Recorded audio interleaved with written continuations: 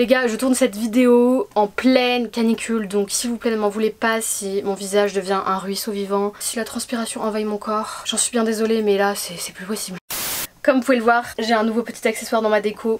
Merci Lou si tu passes par là. J'adore. La team cactus est vraiment très présente dans mon décor. Franchement, si j'avais pu tourner cette vidéo en sous-vêtements, je l'aurais fait, mais je n'ai pas envie d'être démonétisée.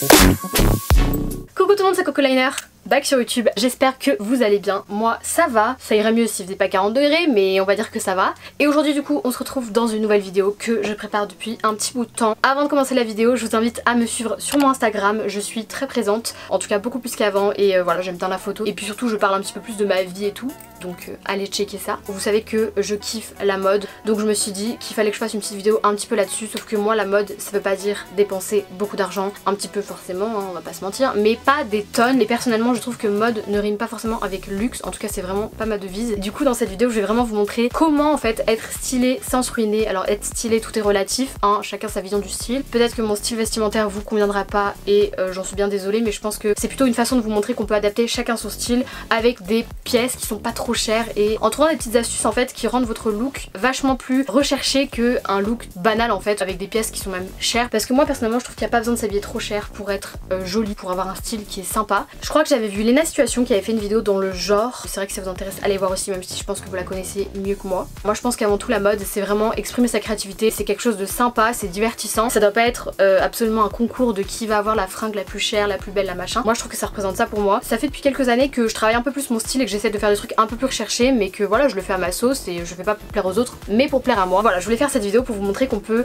avoir un style sympa sans forcément dépenser trop cher. Donc dans une première partie je vais vous donner plein de petites astuces et des petits trucs que, que moi j'applique ou moins pour que finalement ma garde-robe me revienne pas trop cher mais que j'ai des pièces qui soient un petit peu originales, un petit peu stylées et que pas forcément tout le monde ait. Et dans un deuxième temps du coup je vais vous présenter 10 tenues à peu près qui sont donc inspirées de mon look qui est en grande partie un peu street. Après chacun sa version de streetwear. Moi je trouve que je suis un petit peu street dans le sens où je mets quand même des, des hauts un petit peu larges parfois. Je joue sur les matières, les trucs et tout, je mets des grosses baskets mais en soi chacun sa vision du street. Je pense que ça peut quand même toucher pas mal de gens surtout que vous verrez quand même qu'il y a quelques tenues dedans qui sont pas que street, il y a un petit peu du vintage et un petit peu voilà du style un peu romantique chic je saurais pas trop comment exprimer mon style. Sachez que ce style ça me représente moi mais pas que parce qu'en fait ça représente moi un petit bout de l'année. C'est vrai qu'en hiver c'est moins mon style, je vais plutôt mettre des bottes, des manteaux longs. Je vais vous montrer vraiment mon style en ce moment et euh, ce que j'aime bien porter avec des pièces pas trop chères et en vous donnant du coup plein de petites astuces. Et du coup dans la seconde partie de la vidéo en fait ça sera illustré avec des tenues que j'aurais fait moi-même du. J'espère que ça vous plaire et c'est parti. Donc dans la première partie comme je vous ai dit je vais vous dire d'abord des petites astuces, des petits trucs que je fais euh, au quotidien ou non quand j'achète en tout cas mes vêtements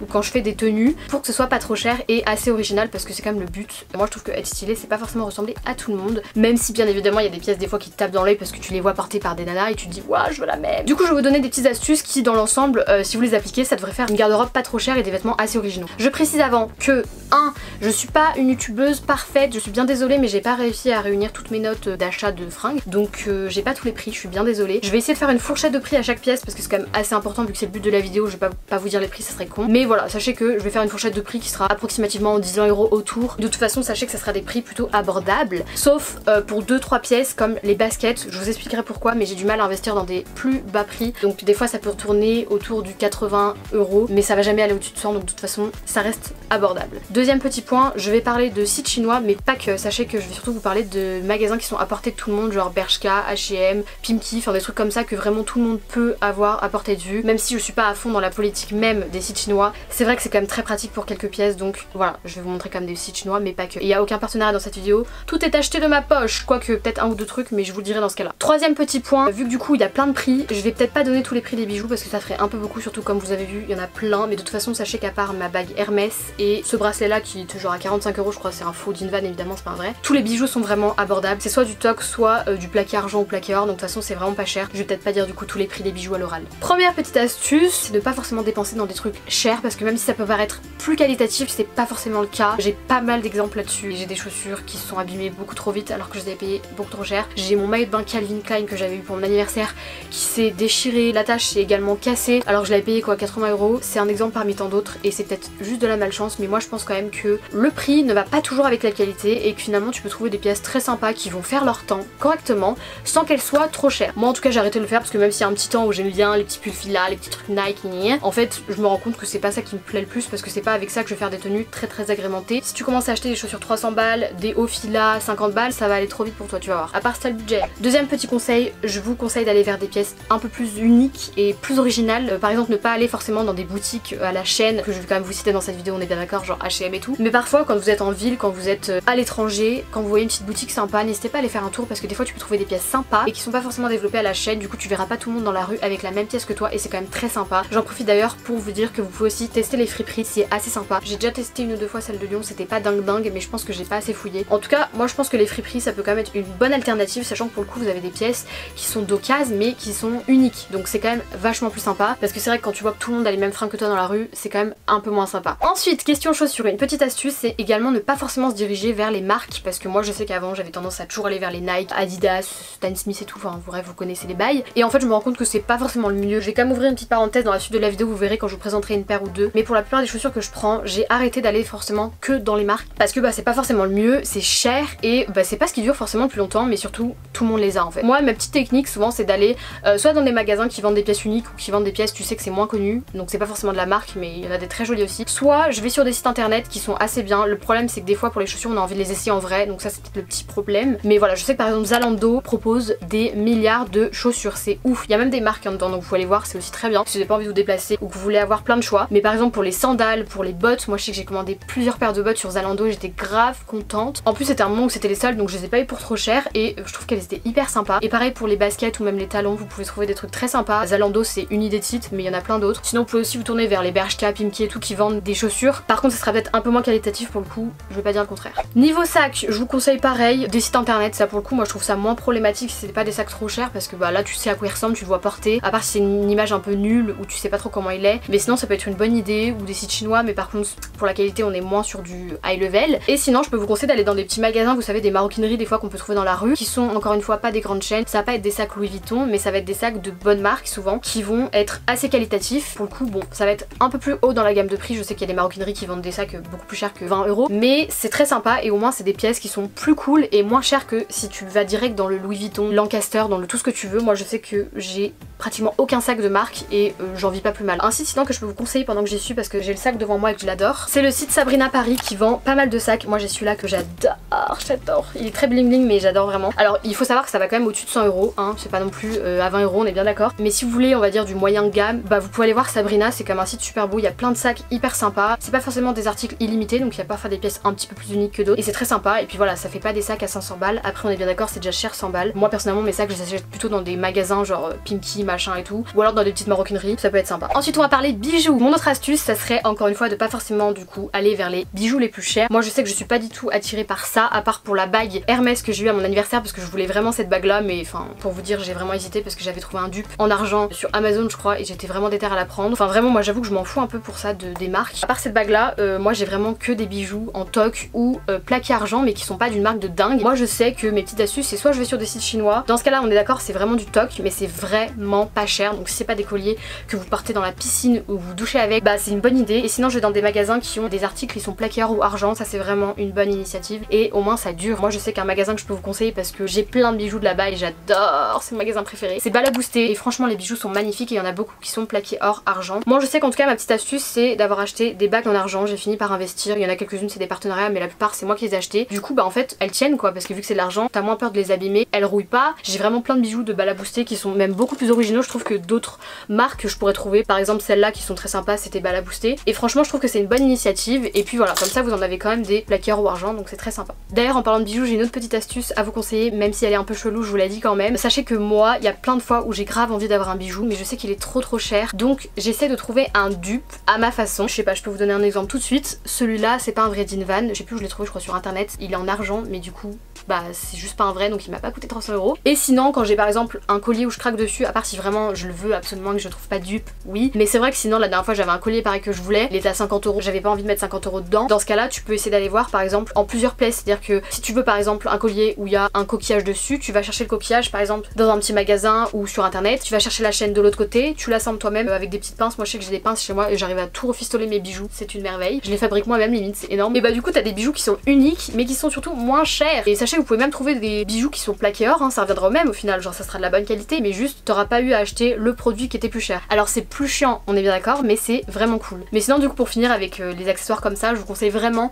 quand vous avez une tenue simple, des fois de l'agrémenter juste avec des bijoux, avec des bijoux de cheveux aussi, des barrettes. Moi je sais que j'en ai très peu mais il y a cette mode des barrettes qui est très sympa aussi. Avec des ceintures, moi je sais qu'il y a ma ceinture juste devant moi, je vous la montre. Cette ceinture par exemple, elle vient de chez Asos, j'ai dû la payer, je sais pas moi, 10-20 euros même pas. Jamais tout le temps, jamais tout le temps. En plus si vous l'avez remarqué c'est quand même un peu un dupe euh, de Gucci, même si c'est un dupe de très loin. Moi je trouve que j'adorais le motif en fait comme ça. Si vous avez envie d'avoir des pièces sympas, vous pouvez en trouver par vous-même, c'est juste qu'il faut chercher un peu. Mais voilà, c'est moins cher et c'est tout aussi sympa. Et des fois pour des tenues, pour qu'elles soient vraiment plus originales, il suffit juste d'ajouter des accessoires sympas, bijoux, ceinture, veste, enfin c'est vraiment dans les accessoires, vous allez voir mon style, mais moi c'est vrai que c'est vachement comme ça que je joue, j'ai beaucoup tendance à rajouter des bijoux et des petits trucs qui font la différence on va dire. Je sais pas pour qui je me prends moi. Ensuite, autre petite astuce pour faire des tenues stylées, je vous conseille beaucoup de jouer sur les couleurs, les matières, les superpositions de vêtements, etc. Je sais qu'en hiver il y a ce qu'on appelle la technique de l'oignon, je crois, c'est mettre plusieurs couches par dessus. Par exemple vous mettez un perfecto et vous mettez par-dessus un autre manteau, par exemple sans manche, du coup on voit le perfecto, enfin c'est des styles un peu sympas aussi. Mais surtout pour jouer sur les couleurs, alors moi je sais que j'ai tendance à pas en mettre plus de 3 ensemble, voilà on connaît la règle des trois couleurs, après ça fait peut-être un peu too much mais ça dépend du style que vous voulez avoir. Et sinon c'est vrai que je joue beaucoup sur les couleurs moi et surtout je joue sur les superpositions de matière comme vous pouvez le voir, bah là c'est un exemple con mais j'avais très chaud j'ai fait ce que j'ai pu pour m'habiller. C'est un crop top en rési et en dessous je vais mettre par exemple un petit débardeur donc série crop top. C'est des superpositions de matière que je trouve très sympa, moi en tout cas je sais que je fais que ça en été. Mon look un peu street c'est fait que avec des superpositions de matière. Ensuite tu mets des petits bijoux qu'on voit de l'extérieur ou de l'intérieur et des fois c'est des petits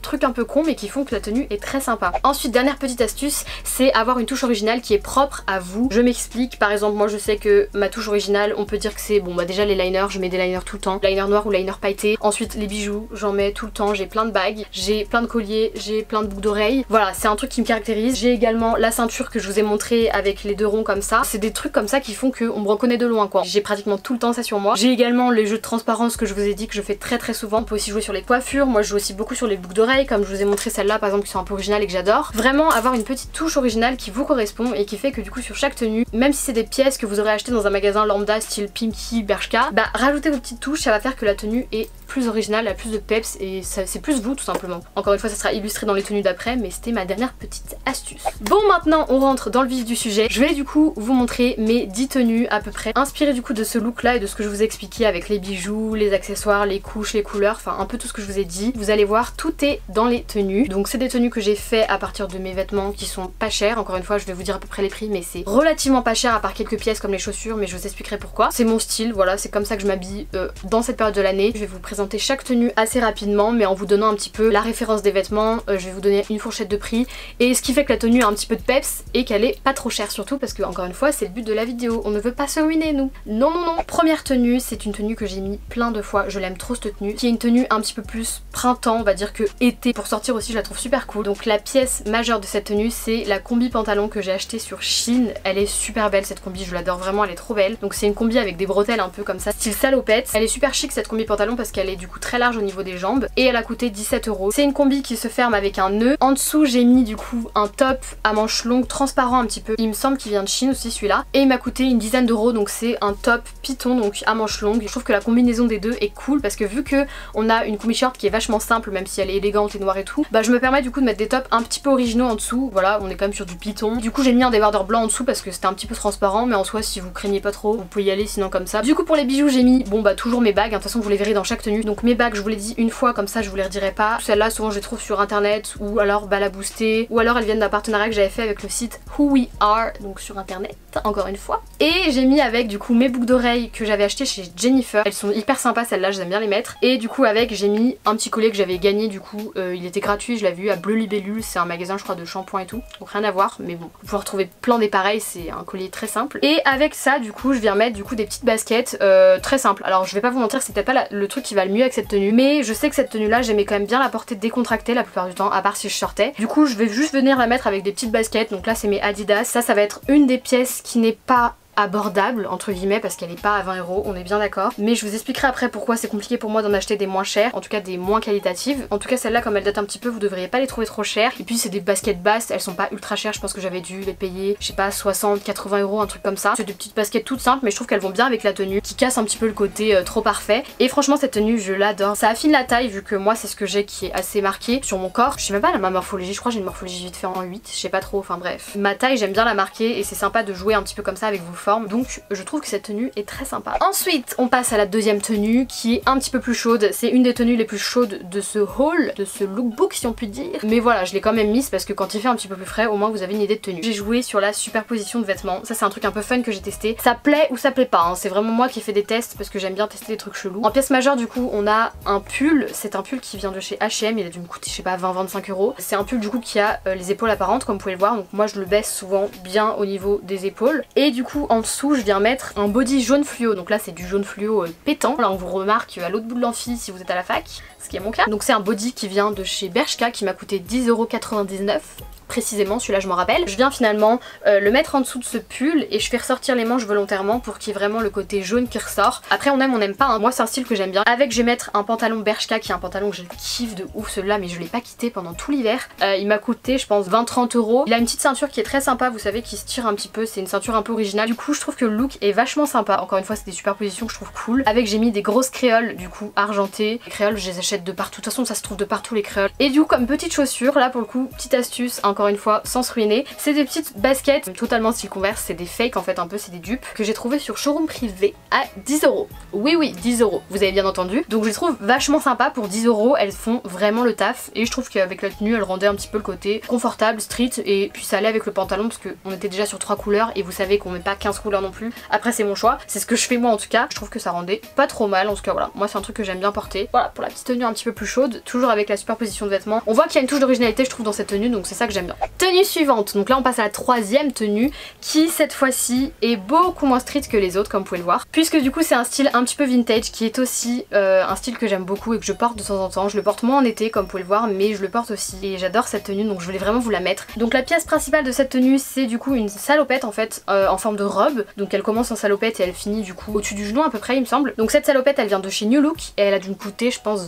25-30 euros max un truc comme ça. En dessous je viens mettre un top manche longue de coup crop top. J'aime bien mettre un crop top avec euh, ce genre de pièces en fait. Et donc c'est un top gris qui vient de chez Stradivarius. Il a dû me coûter 10-15 euros. Généralement quand on est en hiver je mets des collants avec mais là vu qu'il faisait très chaud j'avais pas de collants. Je pense que ça peut aussi se porter sans collant. Une des pièces principales que j'ai trop kiffé et que j'ai mis avec c'est du coup ma gavroche que je trouve trop cool. Petite astuce pour celle-là puisque je l'ai trouvée dans un marché. C'est un peu une pièce unique on va pas se mentir même si vous pouvez en trouver d'autres qui ressemblent grave à ce style. Je l'ai trouvé à un marché pour 10-15 euros pareil. Je voulais grave une gavroche dans ma garde-robe. Pour les bijoux du coup j'ai mis une chaîne dorée. Euh, c'est comme un petit médaillon un petit peu gravé. Je me rappelle plus quelle marque c'était mais je l'ai vu dans une My Little Box. Et je trouve que le style est vraiment très sympa. En tout cas moi vraiment j'aime bien cette tenue. Avec du coup j'ai remis mes petites baskets blanches Adidas parce qu'elles passent partout on va pas se mentir. Et là avec cette tenue je fais quand même les choses assez simples. Et donc dans cette tenue le truc un peu original c'est déjà que euh, c'est un peu vintage et ça j'aime bien. Mais surtout j'ai essayé de faire un rappel de couleur comme vous pouvez le voir avec la gavroche et le top gris. Je trouve que ça c'est un truc qui passe bien qui fait toujours que la tenue est beaucoup plus homogène et harmonisée que si j'avais mis par exemple un haut blanc même si ça va bien avec ensuite du coup on passe à la quatrième tenue donc cette tenue elle rentre un petit peu dans le côté streetwear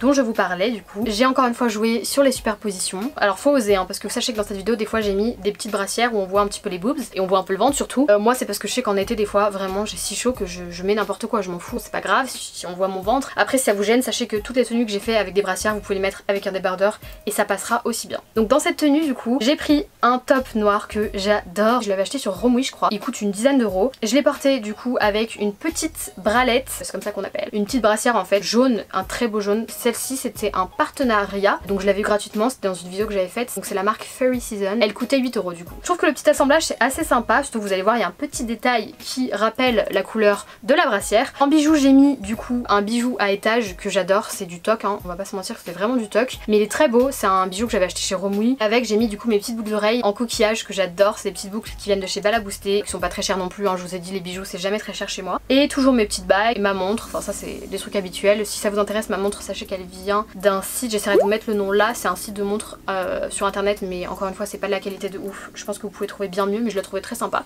Et du coup cette tenue je l'ai mis avec un jean boyfriend qui vient de chez Jennifer qui est très sympa, je kiffe ce jean. Il m'a coûté 20-25 euros je pense. Et le petit détail du coup qui tue un peu, qui fait original. on aime ou on n'aime pas, moi j'ai testé les couleurs, j'aime bien. C'est une ceinture du coup rouge, c'est la même que je vous ai montré en noir mais elle est rouge et elle vient de chez Asos. Pareil elle a coûter 10-20 euros un truc comme ça. Et du coup c'est pour faire le petit rappel de la brassière puisque sur la brassière c'est écrit en rouge. Je trouve que c'est sympa, c'est un petit détail comme ça qui marque les esprits et qui est stylé je trouve dans une tenue. Et avec du coup, je vous ai montré du coup ma paire de euh, fausses Balenciaga. Évidemment ce ne sont pas des vrais. Je vous ai dit que moi je prenais jamais des vrais, c'est très rare que j'en prenne. Donc voilà un autre exemple euh, de fausses Balenciaga, vous savez qui sont très connues. Celles-ci je les ai achetées sur internet, il me semble que c'était des Stradivarius. Elles ont dû me coûter 30 euros, 30-40 euros je pense. Donc c'est vachement abordable. Alors moi je trouve en tout cas pour des chaussures ça passe. En plus elles sont vachement agréables. Euh, je les ai mis du coup avec ce pantalon pour tester. Je vais pas vous mentir c'est pas le meilleur jean avec lesquels les mettre. Mais c'est que dans mon haul j'avais pas beaucoup de tenues où les mettre donc je me suis dit faut que je les casse parce que je les aime bien et parce que je pourrais vraiment les mettre avec cette tenue. Mais la vérité c'est que si vous voulez mettre des chaussures comme ça un petit peu collées, c'est peut-être plus joli avec un pantalon droit. Voilà, c'est juste ça que je pouvais dire parce que celui-là il était bleu et il était un peu retroussé aux chevilles. Mais j'aime bien quand même ce look, bah normal en même temps c'est moi qui l'ai fait.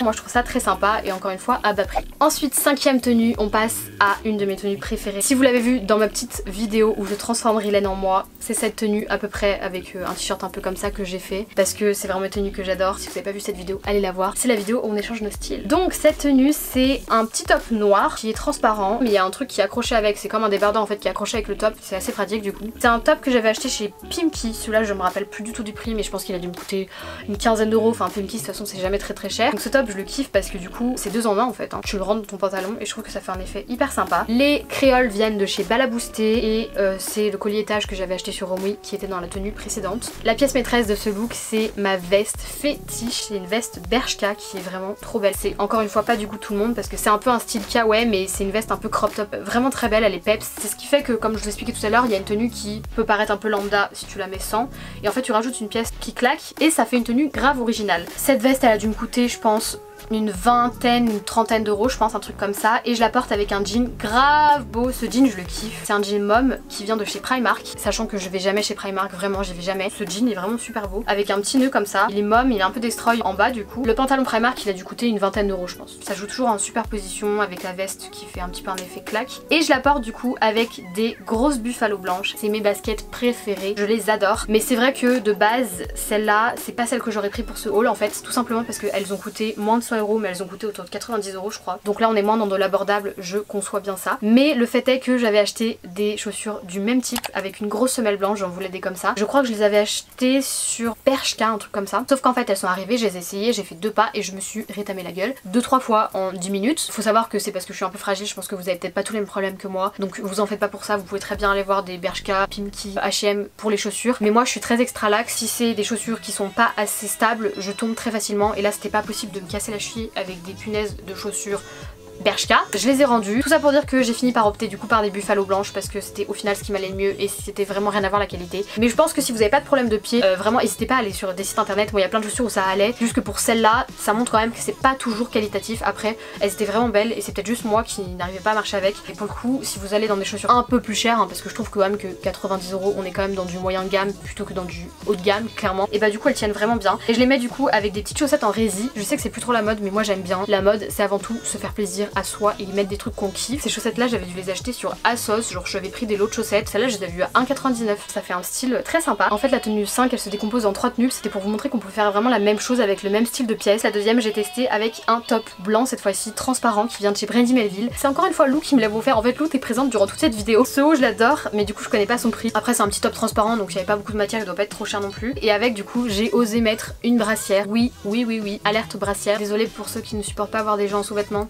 J'avais très très chaud et je sais qu'en été des fois il y a vraiment des fortes canicules comme maintenant. Soit je mettais un débardeur blanc avec cette tenue, soit je mettais une euh, brassière tout simplement. Donc là c'est ce que j'ai fait pour cette fois-ci. Euh, elle avait dû me coûter je sais pas 5 euros, un truc comme ça. Du coup la troisième tenue qui va dans la cinquième, c'est euh, une tenue un peu dans le même style avec toujours le pantalon Primark, les bijoux, sauf que cette fois-ci du coup j'ai pris ces fameux créoles que je vous montre depuis le début de la vidéo, c'est des booster que j'adore. Et avec du coup j'ai mis un top que je trouve trop beau, comme vous avez pu le voir j'aime beaucoup les tops transparents donc là je les refais. J'ai osé mettre également une brassière, la vérité c'est que vous pouvez mettre sinon encore une fois un débardeur, moi je le fais très souvent aussi parce que j'ose pas tout le temps et parce que le contexte ou le cadre ne le permet pas toujours, le temps non plus le permet pas toujours. Mais là il faisait très chaud, je porte un crop top qui est bouffant au niveau des manches, j'adore cette forme de t-shirt parce qu'elle est super belle. En fait elle te met en valeur les bras mais elle te met également en valeur la taille parce que c'est resserré donc c'est trop beau. Il est transparent pailleté, il vient de chez Romouille ou de chez Chine. Romouille Chine c'est un peu la même ligne mais c'est pas forcément les mêmes vêtements toujours, à 6 euros, très très peu cher. La brassière elle vient de chez Chine également, elle a dû me coûter 5 euros un truc comme ça, j'aime bien. C'est une brassière vous savez un peu fine. C'est pour vous montrer qu'en fait euh, vous pouvez vraiment reproduire le même style de tenue avec plein de pièces différentes tant que vous restez sur la même optique. Voilà c'était trois tenues en une que je trouvais assez sympa pour vous montrer qu'en fait ouais on peut faire des tenues cool et du même style un peu. Ensuite on passe à la tenue numéro 6 pour vous montrer un truc un peu simple parce qu'il n'y a pas que des tenues on fleek, des fois t'es un petit peu plus confortable tout simplement. C'est un top avec un ange dessus que je trouvais grave sympa donc euh, je l'ai trouvé sur Romwe pour changer. Ce top il a dû me coûter une dizaine d'euros pour faire un petit côté original et surtout parce qu'il fait très chaud en été, j'ai fait un petit nœud et je l'ai agrémenté du coup avec mon pantalon Primark que je vous ai montré juste avant. Et je trouve que ça fait un style très sympa. Le petit point un peu original que j'ai voulu apporter cette tenue, c'est du coup avec mes baskets Buffalo, j'ai essayé d'acheter des petites chaussettes un petit peu colorées. Et donc cette fois-ci j'ai mis celle en arc-en-ciel, je trouve que ça fait sympa. En fait c'est des damiers couleur arc-en-ciel. Je trouve que ça apporte sa petite touche d'originalité même si c'est un peu moins la mode qu'avant les chaussettes qui dépassent des baskets, moi je trouve ça cool. J'expérimente des trucs et j'aime bien, c'était pour vous montrer que même une tenue très simple, il suffit de avec des bijoux, donc là j'ai porté d'autres bijoux remouillis, c'était des ras de cou pareil. Et euh, du coup une petite boucle d'oreille assez originale, je sais que ça plaît pas à tout le monde mais ça m'a fait trop rire. C'est des boucles d'oreilles que j'ai trouvé sur Asos. C'est un lot de deux boucles d'oreilles qui m'a coûté genre 10 balles. Et c'est des petites épingles à nourrice, c'est trop drôle. Enfin moi j'aime bien, ça fait un peu street original, je kiffe. Mais pas tout le monde aime je pense. Et du coup je trouve qu'avec des bijoux, des, petites chaussettes, bah au final on a une tenue très simple qui devient assez stylée je trouve. Tenue numéro 7 Cette fois-ci j'ai voulu faire une petite tenue festival, un petit peu une petite tenue de, de bois, toute festival. Plutôt festival pour le coup. J'ai comme pièce principale une combi pantalon débardeur comme ça parce qu'il fait quand même très chaud que j'avais trouvé chez Bershka. Elle a dû me coûter, je pense, je sais pas moi, 20 euros, un truc comme ça. Hein. Avec, je mets du coup des grosses créoles euh, argentées. Encore une fois, je trouve que le look, ça rend très bien avec. Avec, j'ai mis des petites lunettes rouges, trop belles. J'adore ces lunettes. Elles viennent de chez Zafoul. Je crois que c'est un de mes premiers partenariats de fringues. Je les mets pas très souvent, mais je trouve que pour un style festival ou concert, elles vont super bien avec. Vraiment grave sympa, ces petites lunettes de soleil. Ensuite, du coup, pour un petit accessoire qui fait bien festival et bien pratique, c'est ma petite banane. je porte pas souvent des bananes, mais l'année dernière, j'avais craqué, j'en avais acheté une parce que j'en voulais. Et je trouve sympa. En tout cas, ça dépend du contexte, mais selon des tenues, moi je trouve que les bananes ça peut bien passer. Donc là c'est une banane qui vient de chez Bershka également. Bershka décidément c'était vraiment the magasin, j'y vais tout le temps. Et elle avait dû me coûter, je sais pas moi, à chaque fois c'est le juste prix là quand je vous fais une fourchette. vraiment j'essaie de me rappeler mais je me rappelle pas trop. C'est pour donner quand même une fourchette à ceux qui auraient peur que ce soit trop cher, mais là ça a dû me coûter je sais pas 10-15 balles, un truc comme ça, même pas. Je trouve que pour aller en concert c'est pratique parce que t'as pas besoin de prendre un sac déjà. Et ensuite bah, je trouve ça un peu stylé, voilà, c'est dit. Et avec du coup euh, j'ai mis mes buffalo blanches pour casser un petit peu le côté romantique, j'ai voulu mettre un peu du côté street. Donc j'ai mis mes grosses buffalo blanches, je trouve que ça va bien avec. Et voilà, cette tenue très sympa, très été, très peace, j'aime beaucoup. de toute façon sachez que si vous enlevez la banane et les lunettes, ça reste une combi pantalon très simple que vous pouvez mettre même pour des occasions avec des talons. Enfin c'est le genre de pièce, tu peux l'agrémenter avec plein de trucs. Moi vraiment, je mise à fond sur les accessoires. Ensuite on passe à la huitième tenue qui est une tenue pour le fun. Je vais pas vous mentir, c'est pas de saison du tout, mais je voulais vous la montrer parce que pour le fun et pour vous montrer qu'on peut vraiment faire des arrangements de couleurs graves marron. Alors c'est peut-être un peu too much pour certains, suis d'accord, mais je trouvais ça trop marrant, fallait trop que je vous le montre. Donc c'est une tenue